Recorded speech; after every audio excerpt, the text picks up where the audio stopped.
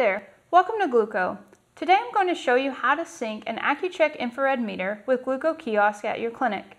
In order to do this, you'll need an Accu-Chek infrared meter, an Android tablet with Glooko kiosk installed, and a paired Glooko MeterSync Blue.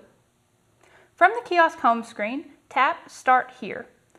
You'll find our list of supported diabetes devices. Select the Accu-Chek meter that you're working with today to open the Learn to Sync screen.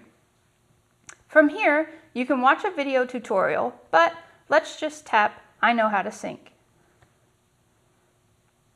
On the Accu-Chek meter, press the left and right arrows down together at the same time and hold until you see flashing lights.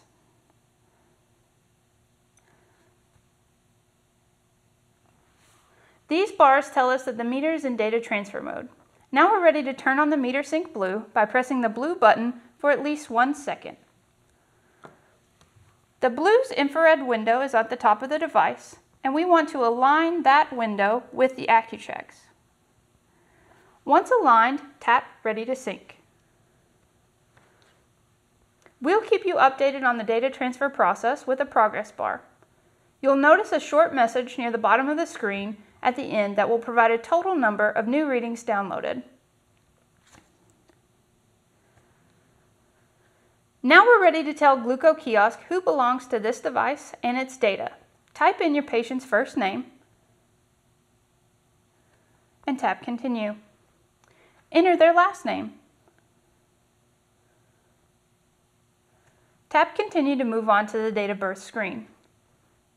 From here, enter your patient's date of birth and if you'd like a quick scroll option for the year, tap the year one time.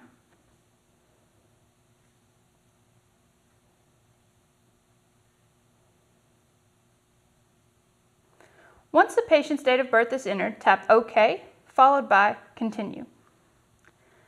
The email address is the final piece of data you need to enter.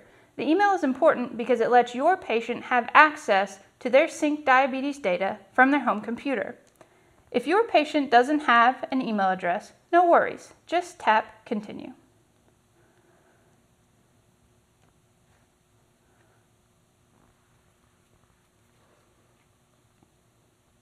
The final screen of Glooko Kiosk provides the total number of data points downloaded during today's sync. From here, you have several options.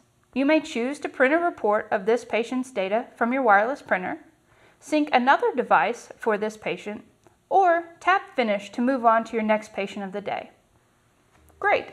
You've learned how to sync an infrared meter with Glooko Kiosk and attach your patient's data to their Glooko profile. Happy syncing!